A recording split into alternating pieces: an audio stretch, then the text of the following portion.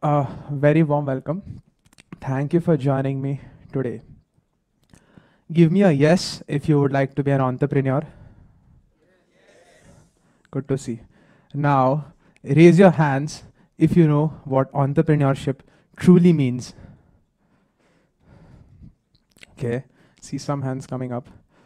I've got some work to do there. Now, one more question is the last one.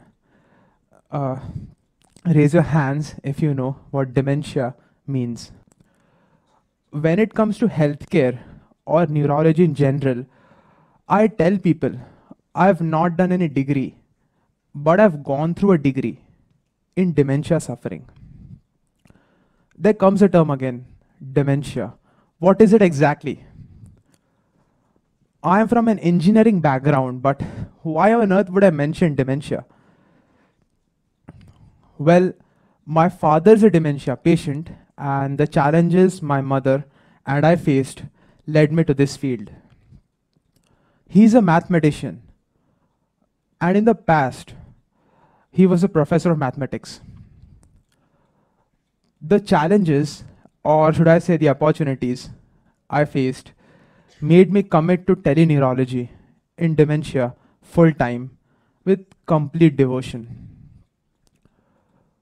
my mother insisted I face the problem and not run away from it. So I did the same, literally and figuratively. Well, that is fine, but what is dementia? Dementia is an umbrella term for several diseases impacting memory, other cognitive abilities, and behavior that can significantly impact person's ability to maintain their activities of daily living. Guess what? The deterioration is gradual, and sadly, the worst part no cure. The capacity of brain cells to repair and regenerate themselves over a period of time, unlike other organ cells, is quite limited. As a result, in dementia, the nerve cells keep dying out gradually, and new cells are not able to regenerate themselves to maintain the pace. This is termed as atrophy. In India, there are more than 5 million dementia patients, unfortunately, and globally, this number is said to be more than 50 million. Well, uh, the functioning of the brain can be compared to that of CPU, although it's a lot more complicated. In dementia, from moderate to severe stages, of course, depending on the type and stage, people are unable to walk, talk, follow instructions, or function properly so we can see in activities of daily living and usually need a caregiver to help them out almost always. What exactly are the challenges associated with the dementia community? One, reaching out to the correct type of doctor. Two, knowing the exact type and stage of dementia. Three, monitoring the progression of dementia periodically, fundamentally. Four, knowing the exact type of exercises that are needed and suitable to each kind of patient. Five, other associated challenges specifically around loneliness, social isolation, unbelievable emotional uh, burden on the caregivers while seeing our loved ones in this state around caregivers, the burden is tremendous. It's huge. There's no certainty on the amount of planning that is needed around family, finances, among other types of planning. To put things into perspective, after my engineering in 2018, I spent around six dedicated months with my father as he was entering the severe stages of dementia. Believe me, the world turned upside down for me. I was specifically practicing how to remain composed in the toughest of times. The good thing I believe I did is I kept track of what happened with his symptoms, incidences, situations, which helped me better explain my situation, uh, his situation, my and his as both as well, to the doctor and better understand how things were progressing. Neuroscience, many believe, is not that straightforward as it deals with neurons and neural circuits which are seemingly complicated to process. Coming to dementia again, as recommended by World Health Organization among other top neurology or mental health organizations, the goal should be in a way to detect and diagnose dementia as early as possible. Then, with appropriate treatment, even if there is no cure, we can delay the progression to a good extent.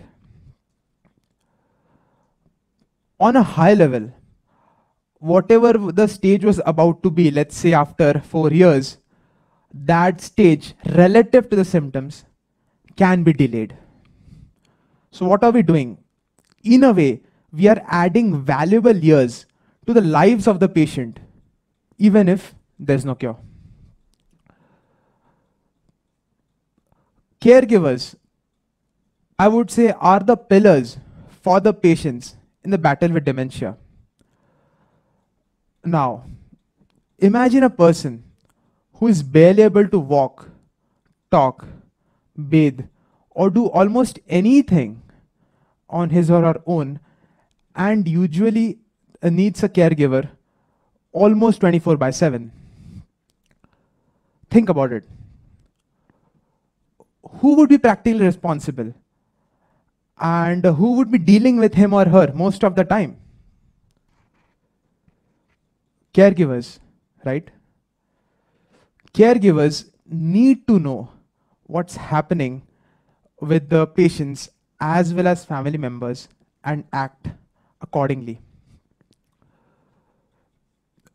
We already saw caregiver burden as a major challenge a while ago.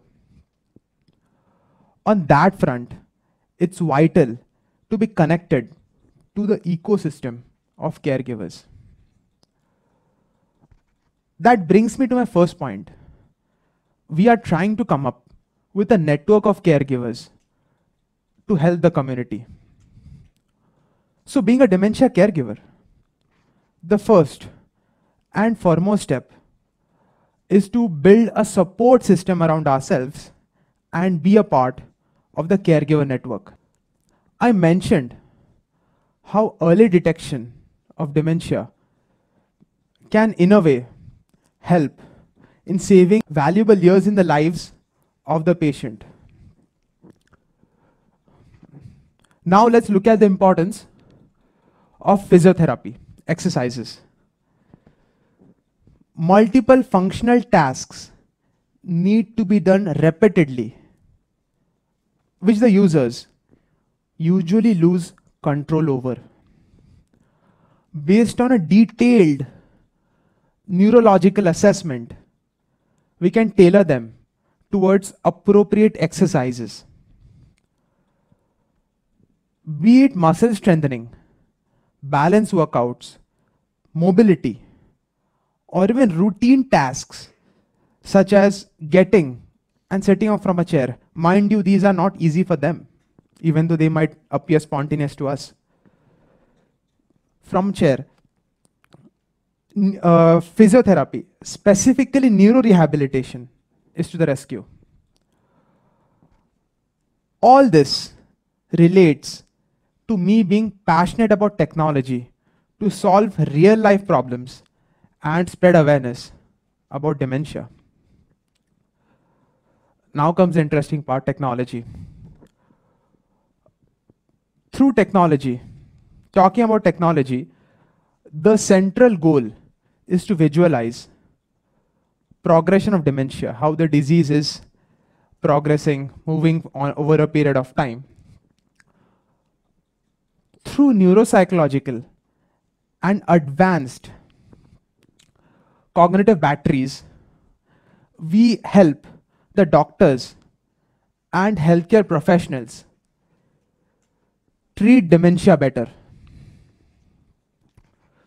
This project I'm talking about started off as a digitized cognitive test and is now being seen as a comprehensive end-to-end one-stop solution. Well, our team constantly motivates me to be better and brings out the best version of me. With the recent advances in deep learning, talking about artificial intelligence, specifically in this domain, the first and foremost thing to remember is healthcare data is super sensitive and we need to make sure the entire architecture is encrypted end to end. Further, the data needs to be kept absolutely confidential and anonymous at all times. Coming to electronic health records, we aggregate everything with neuropsychological assessment batteries. What are they? Neuropsychological assessment batteries can be thought of as cognitive tests that assess the five domains of cognition attention, language, memory, spatial, and executive functions. Post this through exhaustive analysis, we try and understand the patterns of cognitive decline, which is quite generic.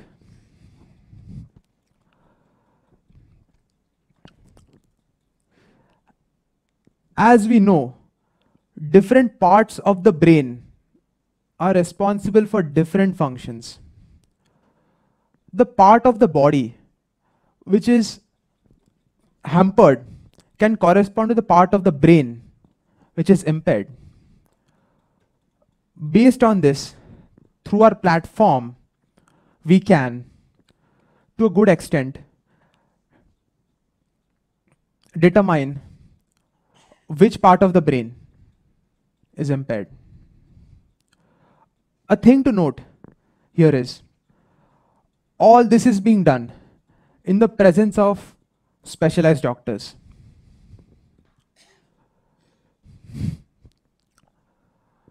Now, through technology, we can provide the entire ecosystem with far more insights in less amount of time.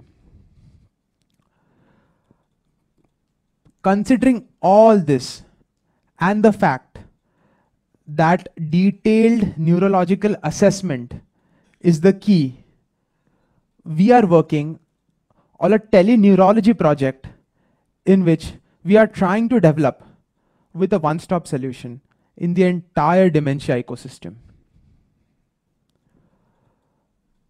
In other words, it helps in the screening as well as diagnosis of dementia.